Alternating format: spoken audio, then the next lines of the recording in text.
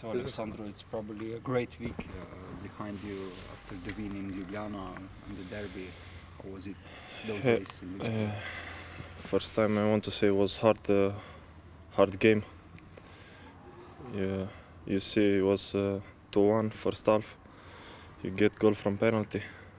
It was 2-2, and in the final, two goals. It's it's uh, it's uh, it's very very very nice to win in uh, last three minutes. It's unbelievable. You are uh, so happy when you win like this and everybody was uh, happy and uh, coach Kivas today was amazing uh, amazing week this week and you come back in Maribor to to work hard because uh, now Saturday it's uh, again a hard game against Mora and if you check our games against Mora not too many victory and now it's time to to win uh, home against Mora You were already on the bench when uh, Maribor scored the third and fourth goal. And, Uh, goals. Um, did you not feel good or? No, no, it's not. Uh, I was happy. It's uh, it's happened in the game to, to go outside and team to score three goals. This is better for me, no problem. uh, the team win. This is very important. I'm happy with this. How are you satisfied with your position in the starting eleven? You Uh, came back in the first eleven after. Yeah, but in Maribor is not. Uh, you are in first eleven. You are not in first eleven. Uh, coach decide who put uh, first team, first eleven, and some games maybe one player uh, must play because of his position or his quality. Coach decide this, and uh, I prepare for uh, for each game, and no problem if I'm the bench or in uh, first eleven. When I come inside, I do I do everything for uh, for team. Dieter Wieler said that uh, games with Mura are becoming similar than games with Olympia, like European games. Uh, do you agree with that?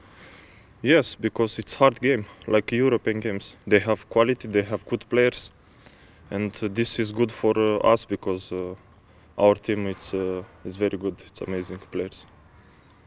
Is it any different uh, attacking from the top? You've been uh, chasing the first position for quite a while now. You have it. Will it be any different? Uh, it don't need to be any difference. We must work the same. I was sure the Maribor will come fast, uh, fast in the first position they, because they have uh, they have good team. Our team it's uh, amazing, good, good team, very good team. And uh, okay, not was easy to to take this first position. If you check, he has great, uh, great uh, games and hard games against Alumini home. It, the last five games, I think six games without uh, without uh, to lose. It was hard games. They're uh, this year, they're uh, the teams they are better. Alessandro, who you see as the biggest title challenges? Olympia, Mura, Alumini? Yeah, if you check the the the table, yeah. But don't worry, Maribor will be champion in the end. Do you think Mura is the hardest team to beat uh, in league now at this point?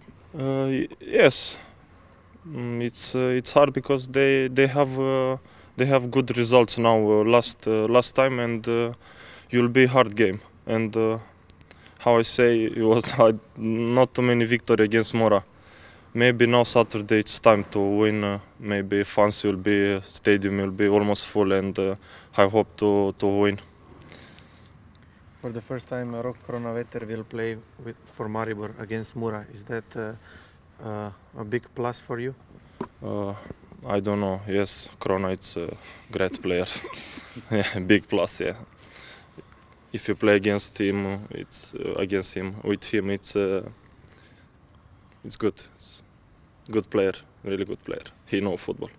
Kako drugačno je zdaj izhodišče eh, po tistem eh, večnem derbiju? ehm, Zdaj pa zapravo iz derbija v derbi greš tam ampak tokrat z prvega mesta proti Muri.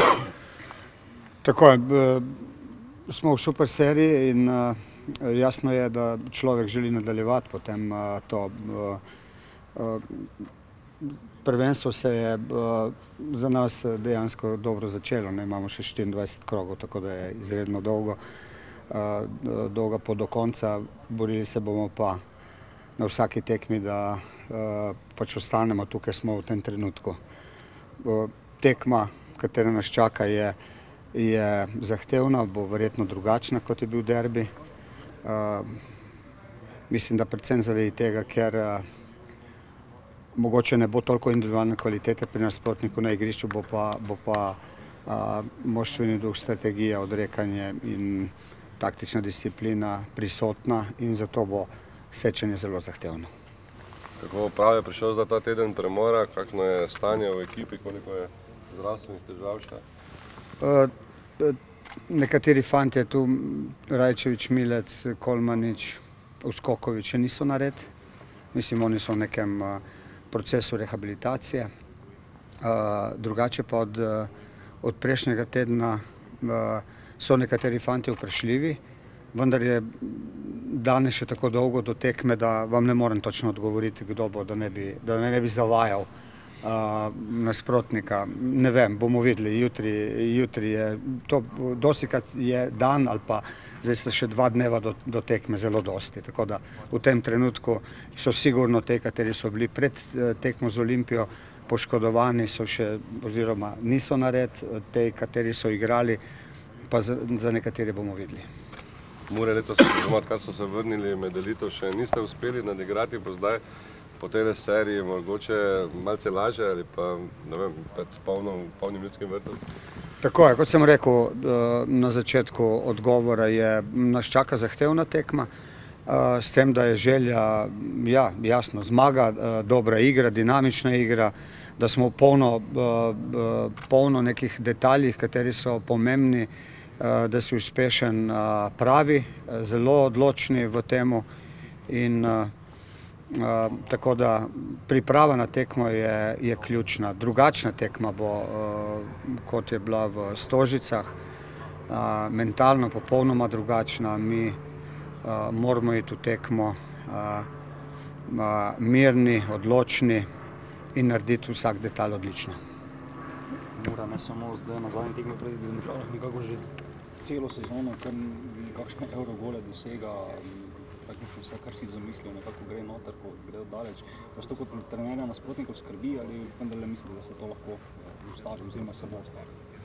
Tako je, predvsem je tu pomembno, kaki bomo mi, to pomeni naš, naš nastop na, na vsakem sreču in tudi na tem z Muro. Ne smemo jim dovoliti, da delajo tisto, kar delajo radi, ker so dobri, moramo pa v vsakem trenutku izkoristiti, izkoristiti te naše dobre, dobre plati igre in, in tu mora biti enostavno potem se obrniti v našo smer. Kakšno muro pričakujete, bo prišlo do nadigravanja ali kakšnega bunkerja?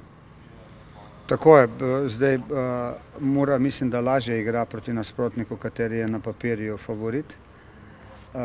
Definitivno se bojo zelo dobro postavili na igrišče, to pomeni, tu bo kolektiv pri njih prevladal v smislu, da se bojo branili nizko, da nam ne bojo dali globine, da bi šli hitro v kontro. In pri nas je, ko govorimo o detaljih, je lih tle bistvo oziroma glavni point, da je po izgubljeni žogi, da jo jim ne pustimo, da nam pridejo gor, da nas ne trošijo s tem, ko se moramo vračati nekam daleč pred svoja vrata. In ne pričakujem pa Mure, katera bo polna rizika, ampak bo imela kontroliran rizik, tako to, kar jih krasi. Vem, da kot športnik verjetno nimate radi, da se komu zgodi nesreča, ampak vendarle kako drugače bo, ker je zdaj Mura izgubila kapetana Kozarja, mislim, da sedem mesecev ne bo igral zaradi poškodbe. Dobro, žal mi je in mu želim, da bi se čim prej vrnil na igrišča. Vendar je to sestavni del športa, da, da so poškodbe, tudi mi imamo nekaj fantov, kateri so bliže v nekem trenutku izredno pomembni za nas, kateri ne igrajo, tako da je pač sestavni del, na žalost. Olimpijo ste taktično presenetili, v Stožicah na začetku se Muro da, glede na pač to, da je kar se pozna, da Ante Šimunža najde dosti krat rešitev za Maribor, sploh v prvenstvu. Pa ne mislim, da ga on najde samo za Maribor. To, to ne bo držalo, da, da je težko to vse skupaj prebiti, je težko, vendar verjamem, da bojo fantje, ker igrajo dobro, verjamem, da bojo najli na igrišču rešitve, verjamem, da bojo uspeli zadržati dinamiko, polni samozaupanja, zabili smo veliko golov v zadnjih krogih, tako da Poleg tega, poleg napada, te razigranosti, individualne kvalitete, neke forme, v kateri smo trenutno, bo potrebno še druge stvari narediti zelo dobro, da bi nasprotniku onemogočil, da bi pa čutil, da lahko kaj naredi. Kje je bilo ključno, da ste pretekli Olimpijo za skoraj 4 km, to ni malo, pa da je rok korona veter na derbiju največ pretekel? Bo tako je, če, če bi pogledali rezultate prejšnjih tekih, mislim, da je zmeraj tako, rok dosega veliko kilometrov, ta, pač specifika nogometašev je zelo različna, nekdo, nekdo zelo velike distance napravi, nekdo več sprinta, nekdo, tako da to je zelo različno in, in bolj pomembno je to, da bolj pomembno je potem iz, eh, poleg tega, jasno je še, še, še polno drugih stvari, na katere se moraš, moraš nasloniti, da bi bil uspešen.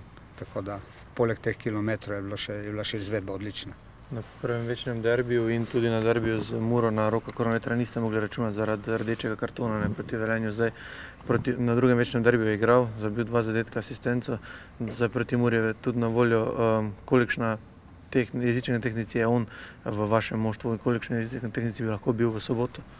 Tako kot sem rekel tudi po derbiju, mi se zdaj jasno imamo malo manj stresa, ni Evrope, fantje lahko igrajo uh, bistveno več svojimi kvalitetami.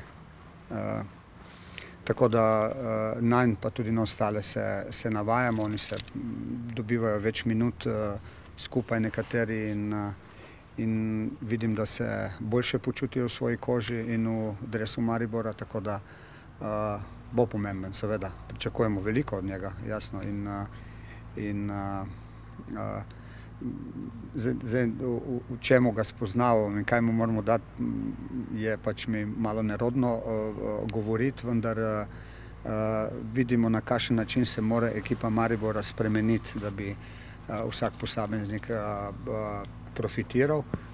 Zabijamo gole, uh, ne zabija gole samo on, ampak se to kar podeli na zadnjih recimo dveh tekmah, če vzamemo samo to, smo v zelo velikem številu zabijali gole, vendar različni posamezniki, to je super. To pomeni, da nismo dejansko odvisni samo od enega, ampak od veliko njih. Govorili ste pri tem, da želite, da morate priti v serijo zmag, zdaj imate šest zapored, z Muro bi bila to sedma, potem sledi reprezentančna pauza in prihaja zdaj v nepravem trenutku, glede na to, da ni več toliko tekem, da ni več toliko Evrope. Tako je, spet smo, oziroma v nenavadni situaciji smo, da je tekem tako malo. Včasih jih je preveč, ni dobro, zdaj jih je malo, spet ni dobro. Tako da res zdaj imamo ta dva meseca, ko imamo malo tekem in ko bomo morali vse to skupaj spremeniti, zdaj smo, zdaj smo se držali, da lahko fantje prelaufajo toliko, da lahko tako delajo skozi tekme, zdaj bomo morali to malo spremeniti, bomo morali malo, malo tudi vmes potrenirati. Dobro je zdaj tega, ker se vse na začetku tekma malce razbremeniš in zadihaš in, in mislim, da skoraj prepričan sem, da bo to pomagalo vsem, da bojo fantje na igrišču razigrani, ker vejo, da jim je to teh 90 minut za ta teden, da bo treba še počakati do naslednje priložnosti. In za nas pa tudi. Je to, da Mure niste premagali v prvenstvu na petih tekmah, dodaten pritisk ali je, ne vem, ali je dodaten dodatna spodbuda to za Ma meni je, meni je spodbuda to kar, to, kar pri fantih vidim, to mi je spodbuda, da, da so zadihali, da igramo dobro in na to, kar je bilo pred meseci ali pa pred leti, niti ne, ne gledam. Se pa obeta še en spektakel, tudi prek Murci, še eno invazijo na Štajersko prestolnico napovedujejo. Ja, lepo, super, super, da bo tako. Verjamem, da bo tudi, da bo pač v večini, v večini, da bomo vseeno navijali za NK Maribor, tako da se veselim tekme, tako kot fantje.